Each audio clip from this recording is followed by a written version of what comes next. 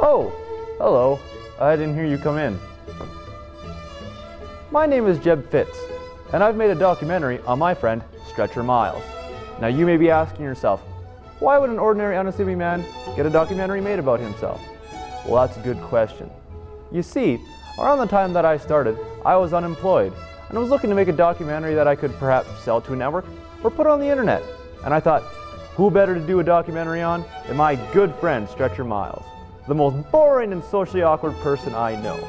However, on the first day of shooting, something very peculiar happened in Stretcher's life, and I was compelled to follow him as that unfolded. So here now for the first time I present to you that very interesting time in Stretcher's life. Enjoy.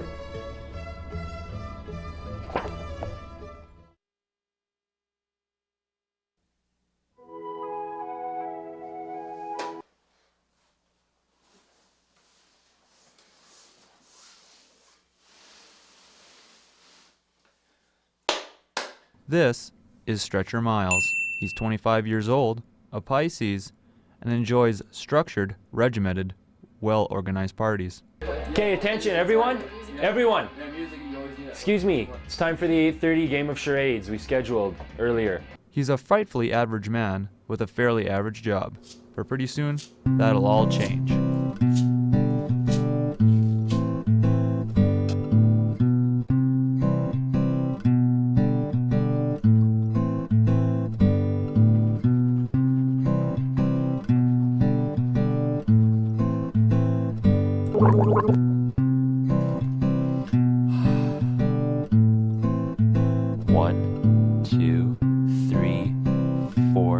Five, six, seven, eight, nine, ten.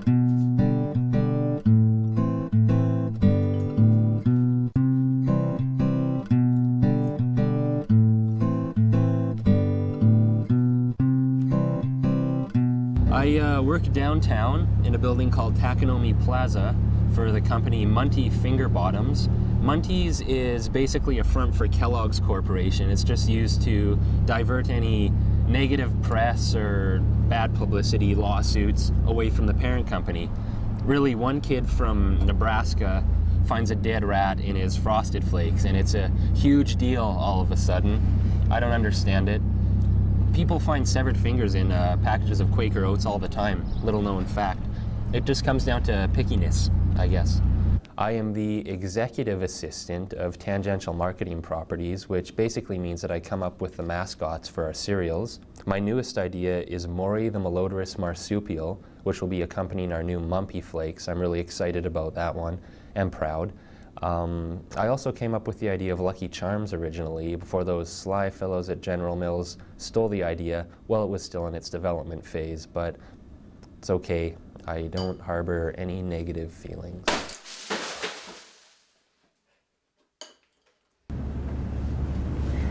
Hey Ace, what's up? Sorry, stretcher. Nothing. Stretcher's given name was Ace Miles. Stretcher's parents, pictured here in a drawing Stretcher did when he was younger, loved the World War I Flying Ace character in Charles Schulz's comic strip Peanuts. So much so that they named their only begotten son after the character. Stretcher hated this name so much that when he was a young man, he set off on a series of misadventures to discover himself a new name. After several months and many truly misadventurous romps, he came up with the name Stretcher, and in some cases it was loath to stick, especially in Daisy's case. So how's it going? Alright. Uh, what have you been up to lately? Nothing. What are you reading there? A book. Here's that report you needed. Have a good one. Bye. I'm the secretary to Stretcher's immediate superior, Larry. He's the executive of Tangential Marketing Properties. Basically, I'm probably the only woman in the office he hasn't slept with.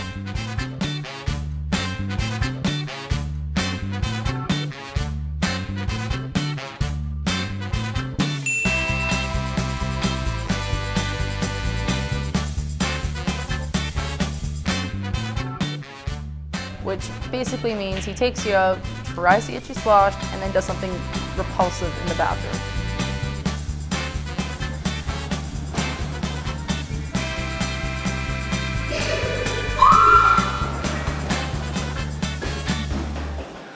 Stretcher yeah, he's an alright guy, I guess. He just takes some. No, I can't do it. He bugs the hell out of me. He has like no social skills whatsoever. Stretcher, that proposal was awesome. I know.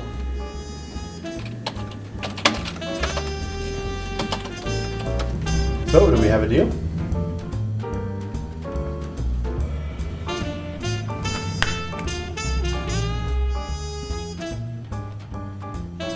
One time, as a team building exercise, we were playing a compliment game. Well, Stretcher's compliment to me was that I had a nice rack. And now he leaves me little notes explaining why it's a nice rack. What? What, what are you looking at? God. Stretcher wasn't really good with the ladies. His last relationship, which was several years ago, didn't end too well. I've started seeing someone else. What? When did this happen? Who is it? It's your sister. Mary? Hey, girl. Hey. I'm sorry, brother. Yeah, it's true. I'm kind of in between girlfriends right now, but hey, that just gives me all the more time to embark on other scholarly pursuits. Like right now, I'm building a 1 1000 scale model of an Autobot Vanguard class deep space interceptor ship, otherwise known as the Ark, out of toothpicks. I'm also getting pretty good at playing the mandolin. Soon, me and some buddies I met at Odafest are getting together and we're going to start a classic skiffle band.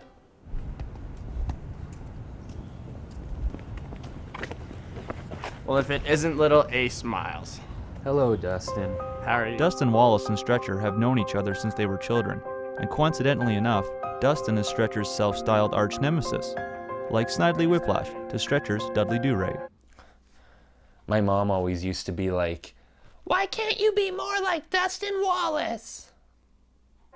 Are you still doing that thing? No, not.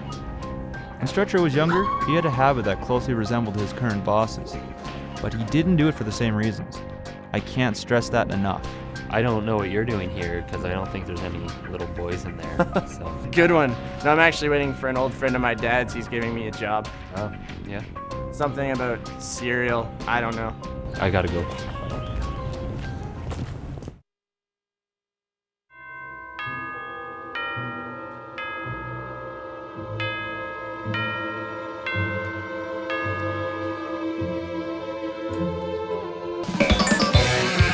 At this point in time, I'd like to remind the viewer that this is not a dream.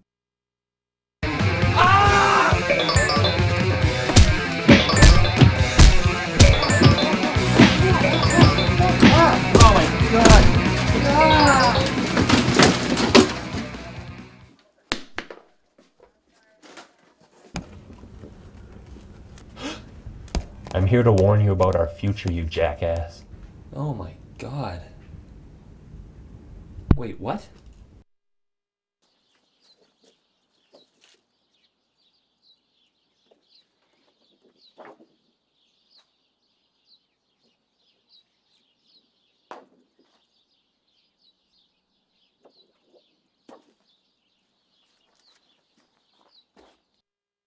Stretcher Miles will return in the next episode. Stretcher's Journey Through Time, Space, and Life, Episode 2. Future Stretchers Rallying Cry. Hey, take back your future. You don't want to miss this one.